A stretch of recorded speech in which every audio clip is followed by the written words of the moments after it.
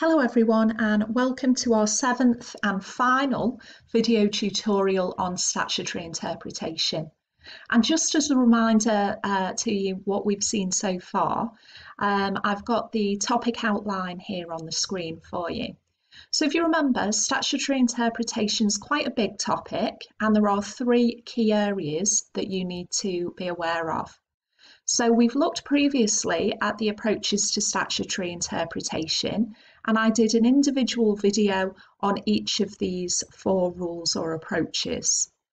We then looked at the aids to statutory interpretation, which included the intrinsic and extrinsic aids.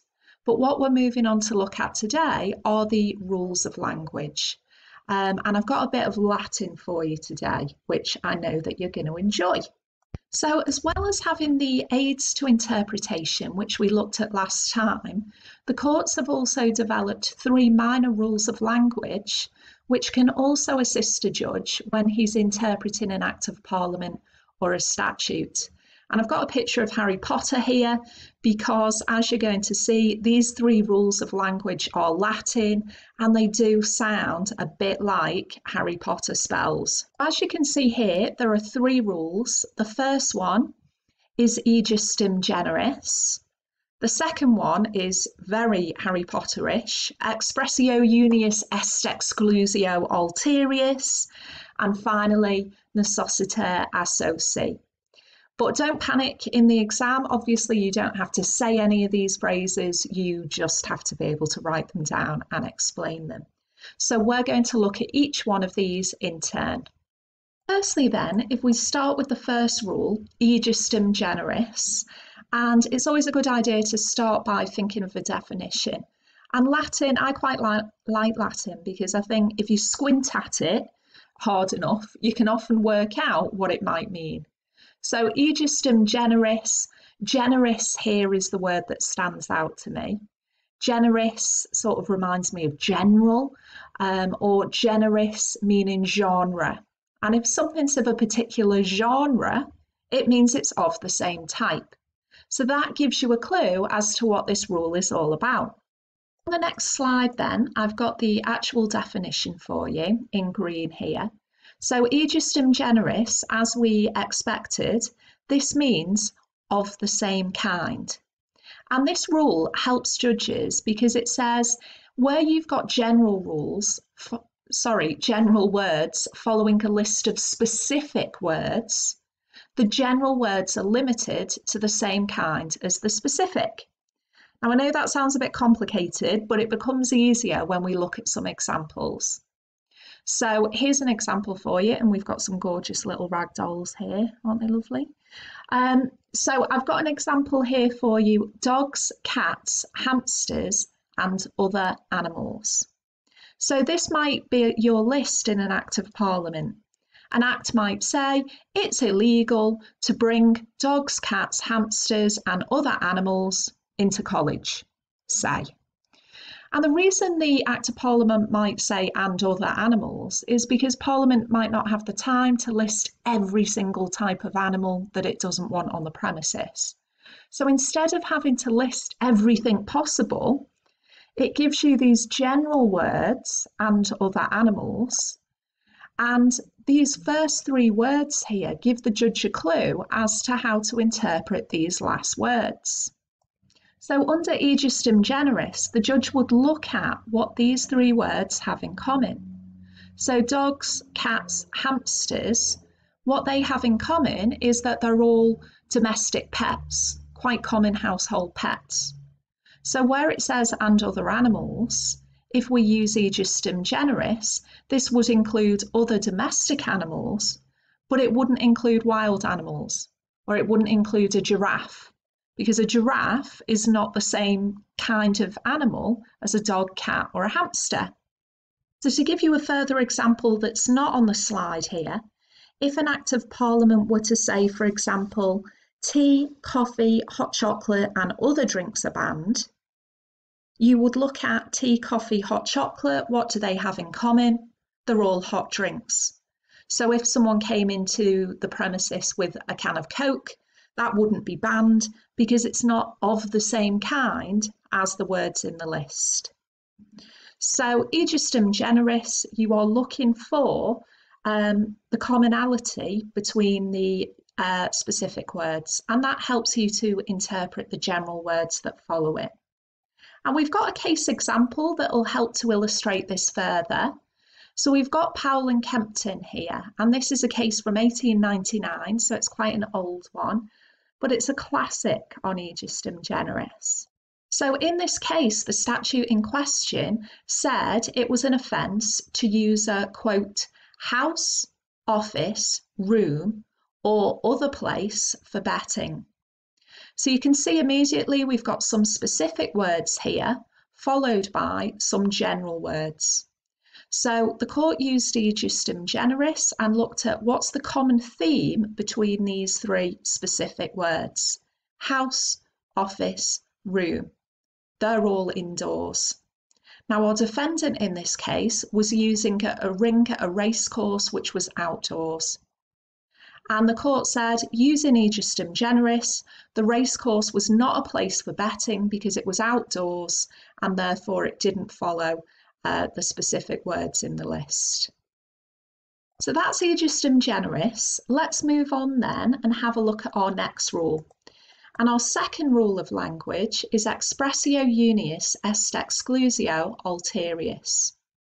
And again, I always like to just have a look at the Latin words because then hopefully um, you can, it will jog your memory. Um, if your mind goes blank, you could work it out uh, in the exam. So expressio, a bit like the word expression. So the expression, unius, if you think of uni, a unicorn or a unicycle, um, we know that that means one.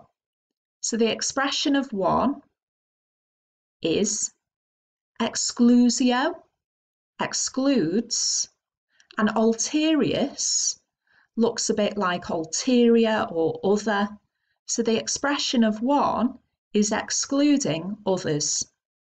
And that's the meaning of this uh, Latin rule. So I'll get you the actual definition here on the screen. So again, I've put it in green for you. So expressio unius est exclusio alterius means the express mention of one thing implies the exclusion of others. A classic example of expressio unius is when you go to the toilets in um, a public place, the men sign on a toilet door impliedly excludes women and vice versa. So a sign doesn't need to say men, no women. Just the fact that it says men implies that nobody other than men can go inside. And that's expression of one is excluding others. Um, and I'm using Rottweilers here because I love them. Um, if an act specifically referred to Rottweiler dogs, it wouldn't include any other breeds of dog. So the way of looking at expressio unius est exclusio alterius is that it's like a complete list. If something's in a list, um, that's what it covers, and anything not in the list is not included. Um, and we'll have a look at a case example of this. So, in the case of the inhabitants of Sedgley from 1831, there was a statute or an act of parliament which was charging a tax on, quote, lands, houses, and coal mines. And the court used expressio unius est exclusio alterius to interpret this, and they said that the act couldn't apply to limestone mines because limestone mines were not specifically mentioned. Coal mines were, but limestone mines were not. And you might be thinking, well, how is expressio unius different from ejusdem generis? Because at first glance, they look very similar. But if you have a look at expressio unius, it's a complete list. It says lands, houses, and coal mines. It doesn't say and other places. If it had said and other places, we could have used Ejusdem generis, looked at what these three things had in common, and decided that this might be of the same type. But because it's a complete list, there's no and other, it's just giving you lands, houses, and coal mines, nothing else, then it can't apply to a limestone mine.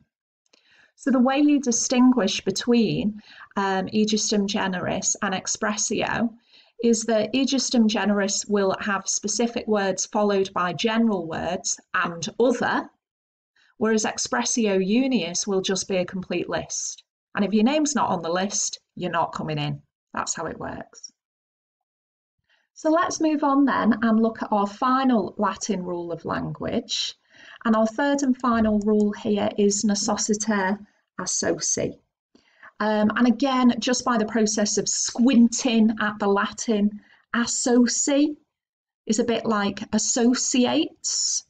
Um, and that gives you a clue as to what this rule is all about. So again, your definition um, is in green here on this slide.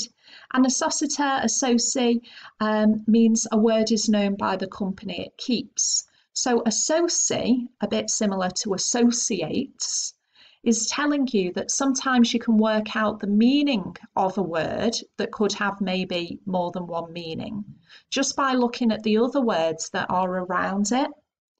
Um, and as I've put there, words in a statute must be read in the context of the words around them. Again, this will become a bit easier if we look at a hypothetical example. So if we've got a phrase here, chickens, geese, hens and eggs, the word eggs is a little bit obscure. It could have more than one meaning. It could mean an egg that a chicken has laid, or it could be, say, a chocolate Easter egg. There's more than one possible meaning of this. But if we're using noscitur a sociis to work out the meaning of this ambiguous word eggs, we would look at the other words around it, chickens, geese, hens, and go, okay, they're all poultry. So eggs must relate to chi chicken, geese, or hen's eggs. Okay, so it would refer to a bird's egg, not a chocolate Easter egg. Another example I could give you here is if I were to ask you all to bring me in a birthday cake, birthday cards, and candles. The word candles could mean a variety of different sort of candles. It could mean a Yankee candle, it could mean a tea light, or it could mean a candle that you put on a birthday cake. Now you would automatically be using the noscitur a sociis hopefully and if I've told you birthday cake, birthday cards and candles you would automatically know that the candles that I want are candles that will go on top of a birthday cake because what you've done is you've uh, understood the words by the words that were around them. And we'll just have a look at a case example where noscitur a sociis was used. Um, and in this particular case, the defendant ran um, a premises called the Cafe. And it was open during the night, and it was a bit of a crazy, wild place um, because, as you can see here, people were supplied with cigars, coffee, and ginger beer. So, a wild night you could have at the cafe. Um, and the issue in this case was the cafe would need a license if it was being kept open for, quote, public refreshment resort, and entertainment. And the defendant was trying to avoid paying this um, license because he was arguing that his cafe was not for, quote, entertainment. And what he was trying to say there was, well, I'm not entertaining people because I don't have a juggler or a belly dancer, there's no singing. People are just having some ginger beer, so it's not entertainment.